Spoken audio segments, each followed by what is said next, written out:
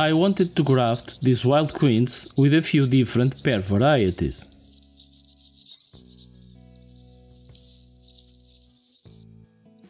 Quince is a robust rootstock and it's compatible with pears. Its root system can also adapt well to the clay area where it's growing, which has a tendency for long periods of waterlogging that can kill most plant roots. The wedge grafting technique was selected because it was very early spring, early March. So, the bark was still not slipping enough for the traditional bark graft technique I also like to use.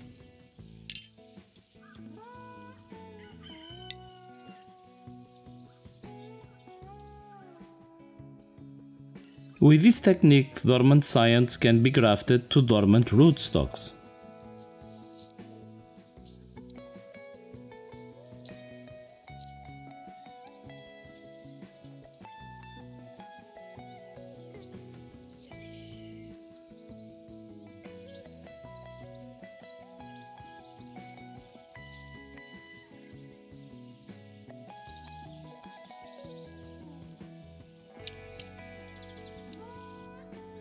Several scions can be grafted into a well-developed rootstock.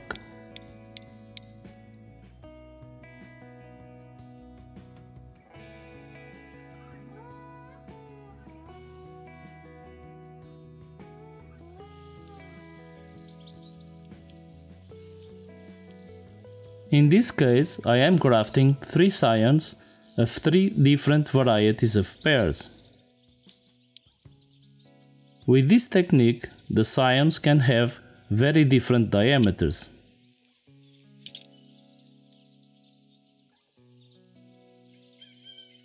It doesn't matter the size, just adapt the slot in the rootstock to the size of the scion used.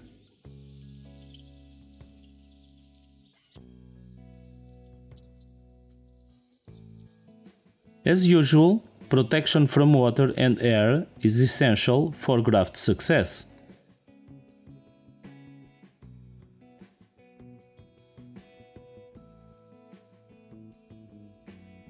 I am using a resin-based pruning paste to protect the graft areas.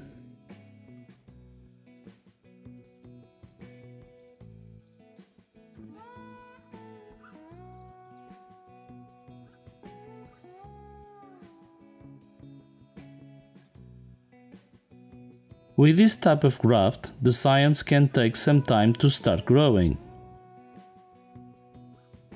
More than one month is not unusual.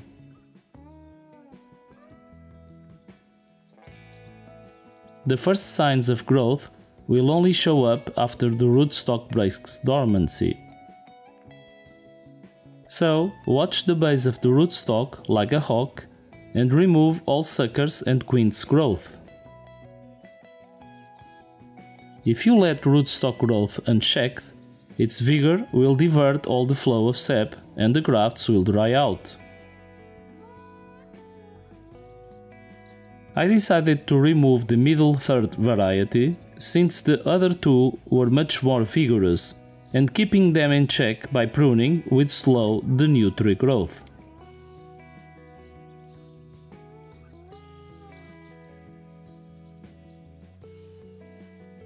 Three months after the graft, the two remaining pear varieties are growing well and the grafts are solid and strong.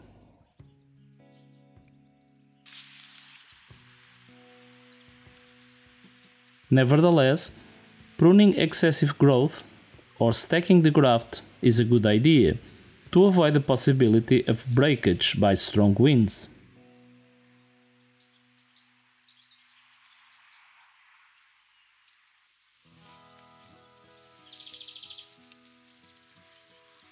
Kiwis can also be grafted in early spring using dormant scions.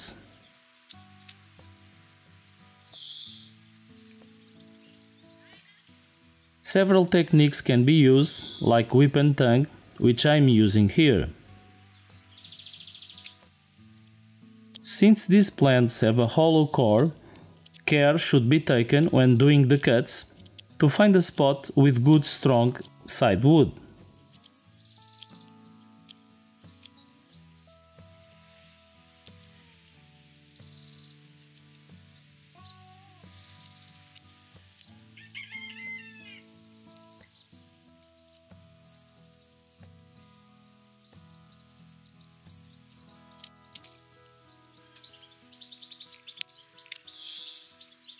When the rootstock and the scion have similar diameters, this technique is very effective and rarely fails.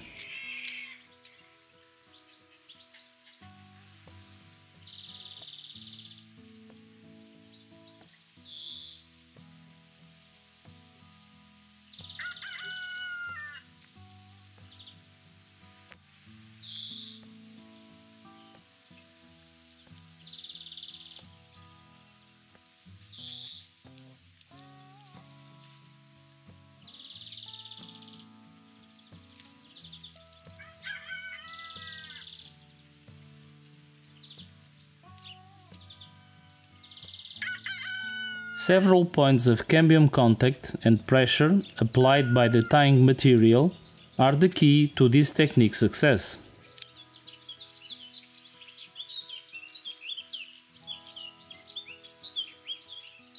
Here I am protecting the graft area and scion with parafilm, but other types of graft protection can be used.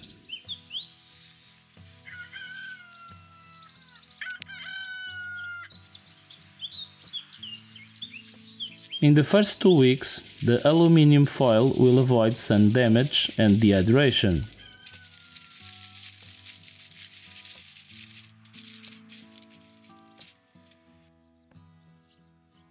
Three weeks later, I removed the aluminium foil and the first leaves are breaking the parafilm. There is no need to remove it.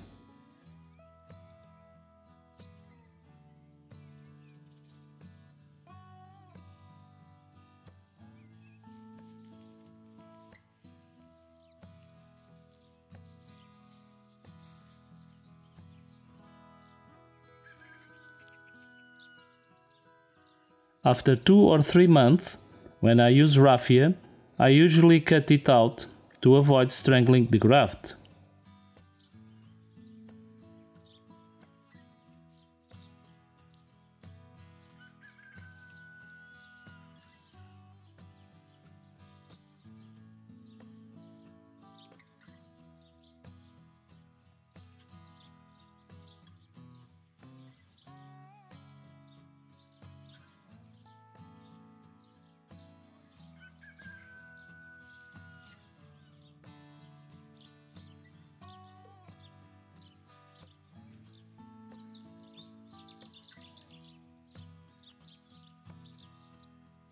The modified cleft graft and the chip budding technique that I am executing here with dormant buds in the fig tree will also work well with kiwis.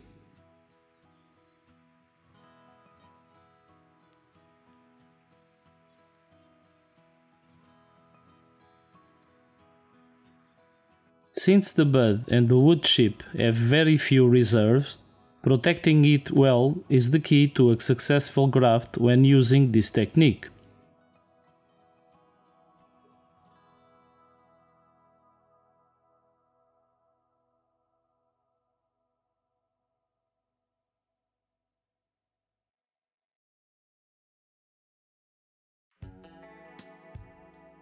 When grafting young rootstocks, several techniques can be used like chip budding, whip and tongue, and the modified cleft graft I am using here.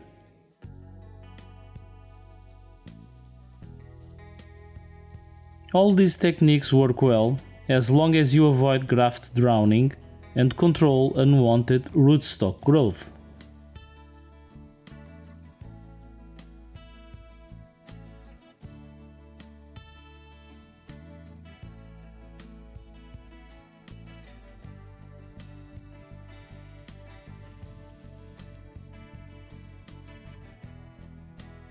When changing varieties in older plants in the field, all these techniques can be used, but one of the most effective is chip budding.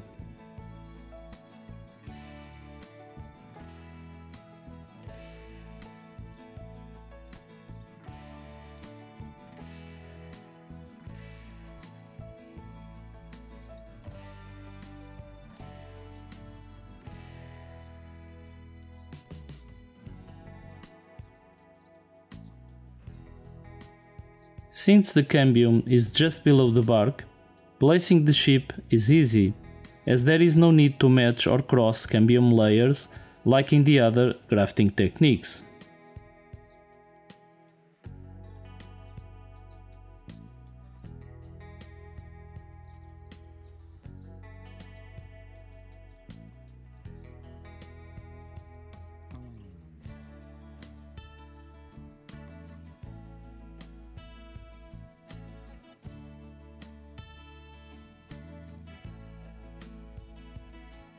Nevertheless, as always, failure to protect the chip effectively against dehydration will result in a failed graft.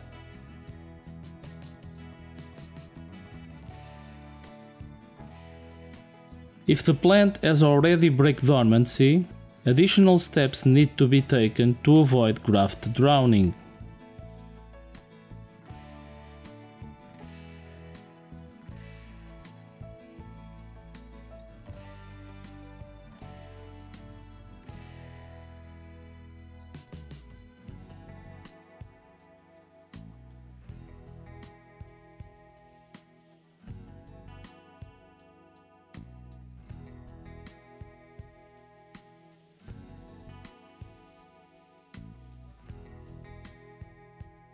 The graft union seems solid, and the grafted variety is growing well.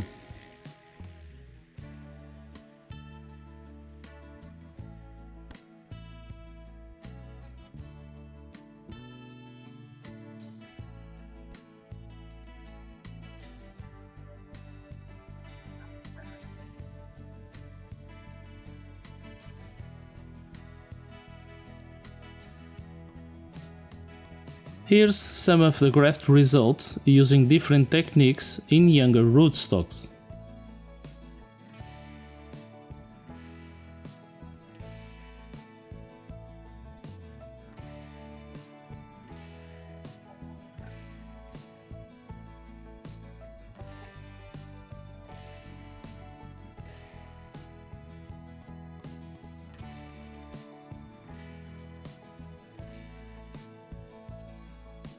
After a few months, it's usually a good idea to remove the tying material so the graft is not strangled in that area. Stake the graft during the first year to protect it against breakage.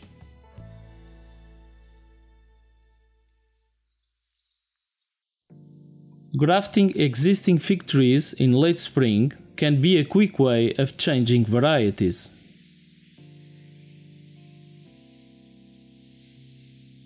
This tree is actively growing and so the flow of sap is very high.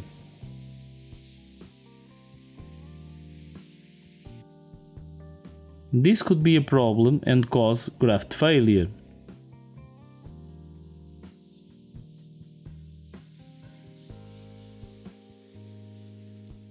However, the heavy pruning needed to select the branches to graft will provide points of escape for excessive sap pressure.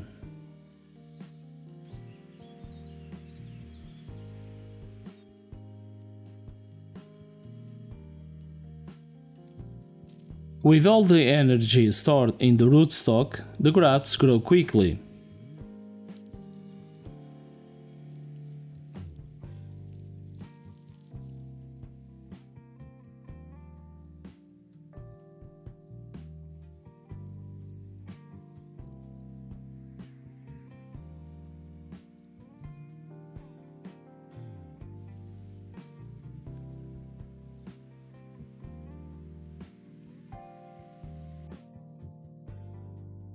Here I am applying the same techniques to create a multiple variety fig tree.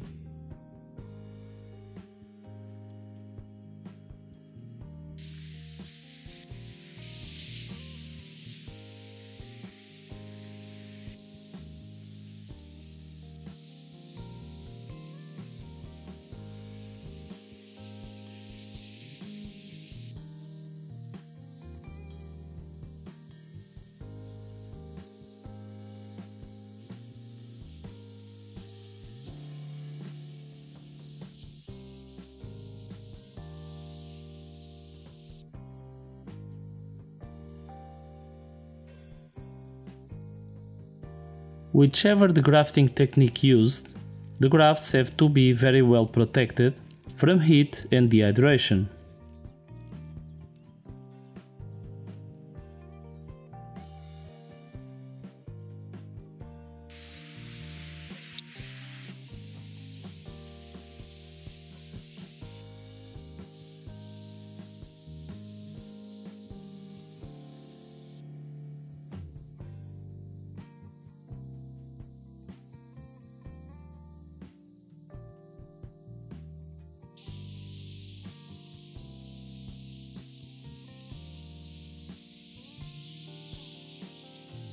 The scions I am using were stored in the fridge for more than 4 months and are showing signs of tissue decay and dehydration.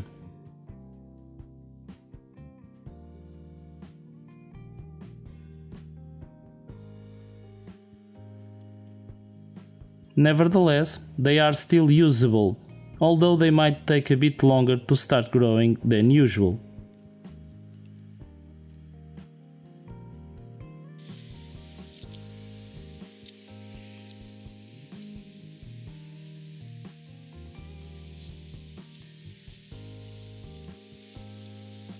Whenever possible, it's better to graft young rootstock branches, like this one.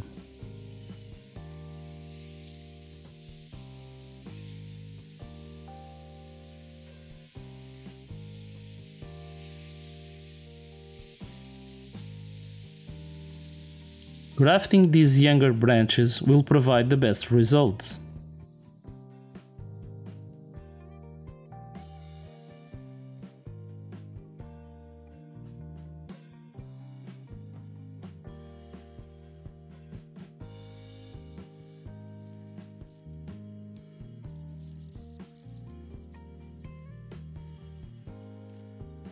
If you appreciate my work, like, subscribe, share the video and leave a comment to help me make more. Click the bell to receive notifications of new videos. Thanks for watching. Check the video description and the channel for more detailed fruit and technique specific grafting videos shown here.